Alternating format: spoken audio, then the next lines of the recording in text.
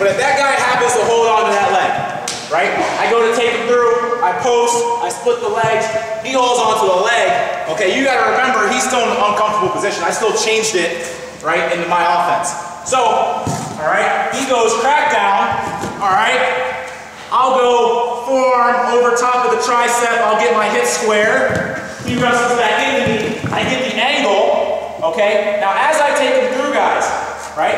I'm gonna go knee slide up, I'm gonna take him through, I'm gonna post, I get here, okay? Say he holds onto this leg, all right? Instead of panicking here, you gotta remember, this is the guy that's gonna be panicking. I have the height right now, and he's in exposure, okay? So if he holds onto this, this leg, and you're like, coach, I can't knee slide my leg through like you were doing it, right? All I'm gonna do, get my foot in the mat, I'm gonna kick over, I'm gonna keep this leg, and what position do you think I'm gonna end up in?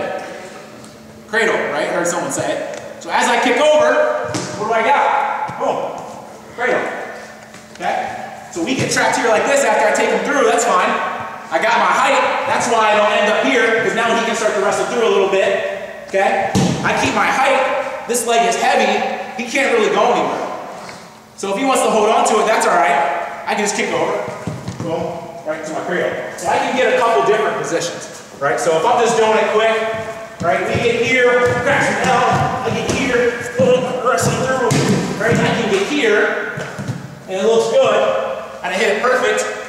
If you hit a snag and he holds onto that leg, right? He holds onto that leg, here, he holds onto that leg, that's all right. I still got it. Boom. Cradle. And that probably even works out better. That's guaranteed back points. That's guaranteed two and back points for you guys. As opposed to him just bailing and I get the two points. So it works out both ways. Does that make sense? Let me see one. I want to see one. Who thinks they got a good one? Oh, big guy. I like it.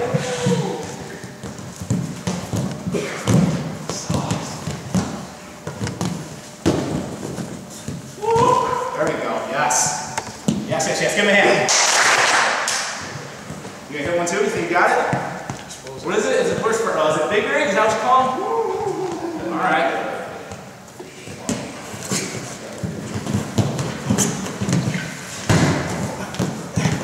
Good adjustment. Good adjustment. Good. Give me hand. Anyone else? Who else one? No one else wants to highlight reel? Coach? all right, that's all I got for you guys. All right, so just focusing in those positions. Obviously, I focus more on once a guy beats your defense, okay, which is going to happen from time to time, but you guys got to be comfortable in those positions, right? So it's something we're always working with our guys, preaching, okay, if you beat your head hands defense, don't panic, right? We have offense from there too, right? If I'm wrestling a guy and he beats my head, and he beats my hands, and he does get to my legs, that's all right, I'm still comfortable in wrestling from there. He gets to a single, he gets to a high crotch, low single, I'm all right. I'm not going to panic because I know I can still turn those all into my scores. Okay? And you're starting to see a lot more of it now, okay, with the way that wrestling is starting to develop. You got to be comfortable wrestling through those positions. Right? He gets to a high C, I can't freeze up and panic. I got to know exactly where I'm going. Right? He gets to a single leg, I can't freeze up and panic, right? Because he's going to score and turn that into his advantage. I got to be able to know exactly where I'm going. I have to have these different feels, okay? And that's why we did that particular set of technique. Okay, with him getting to a single leg and how we adjust, him getting to a high C and how we adjust. Okay, and we can even take it, take it steps further when he gets to a low single, stuff like that. Okay? So make sure that you guys are putting yourselves in these types of different positions. It's going to be pretty important. Okay, focus on your, your second, third, and fourth, and fifth lines of defense because you're going to get there. You don't want to be there in a match, right? But, but at the same time, you're going to get there. A guy might get you high C, beat your defense, then he cracks you down.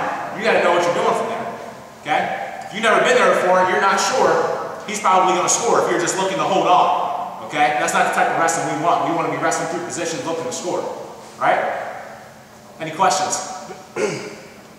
cool deal. That's all I got. New college rules, guys, and stuff he just showed you with exposures, huge.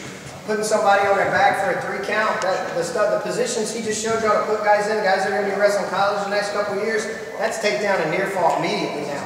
All right, so that's, that stuff he just showed you is about as high level as scrambler gets, and it's changing. Better scramblers, that rule didn't affect anything for better scramblers. They, th they think it's going to get rid of scrambling. That makes the better scramblers even more dangerous now. Being able to expose guys and put them in bad spots, that stuff he just showed is, I, I studied a lot of scrambling. He just showed y'all the highest level of scrambling right there.